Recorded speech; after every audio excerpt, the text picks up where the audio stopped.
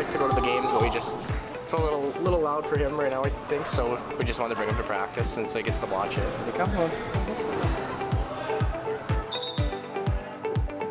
We started off right at the get-go and we're hooked. And we were the very first couple to go on the kiss cam. Hey.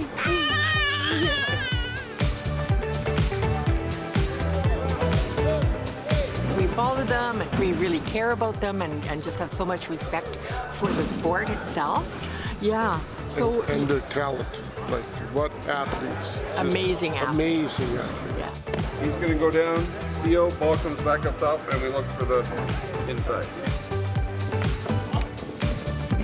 I'm actually from Melfort. Being that there's a practice today, I'm like, man, gets hyped for the season, so I'm excited. Another season, hopefully another championship.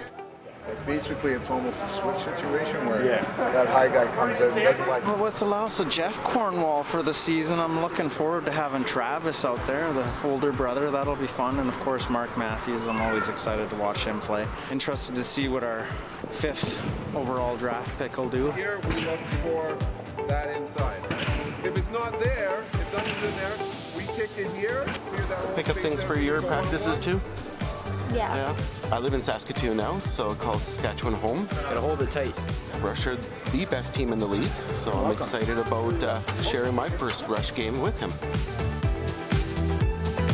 win or lose, it's just great to just come in and watch them because the fans are great and it's just, it's just a great uh, environment. You don't need to know anything. You just come and watch and you'll learn while you watch the game. How many games do you think you've been to?